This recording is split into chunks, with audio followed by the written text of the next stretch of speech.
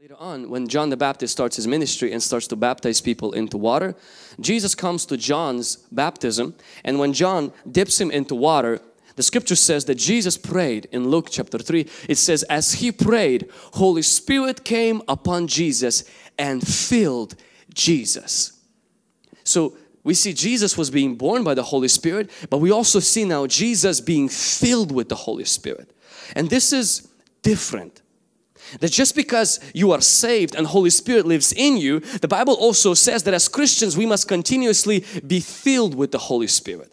We are filled with the Holy Spirit. Many times we think, well, Holy Spirit is going to fill me when Holy Spirit wants to fill me. But the scripture compares being filled with Holy Spirit equivalent to like a drunken being filled with liquor or with alcohol. Now, an alcoholic doesn't sit at home and wait for alcohol to come from the bar into his house, knock the door, go through his living room, jump on his lap, and fill his body with liquid. That, that's not how it happens. You don't get drunk on accident. Being drinking is a choice. You get up, you go to the place where the bottle is, and you drink it.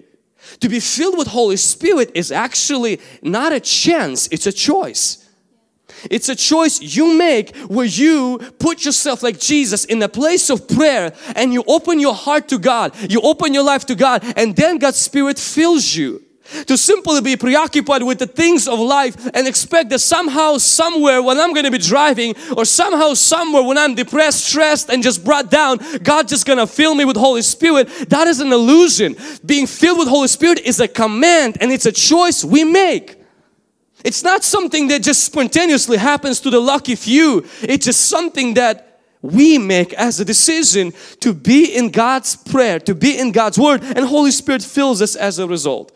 Alcoholics don't get filled with alcohol because alcohol is so demanding. No. Yes, the alcohol attracts them and draws them in, but at the end of the day, it is their choice. And that's exactly how it is to be with Holy Spirit. Now, Holy Spirit is not like alcohol. Alcohol is water, it doesn't have a person, but Holy Spirit is a person, but Holy Spirit wants to fill you.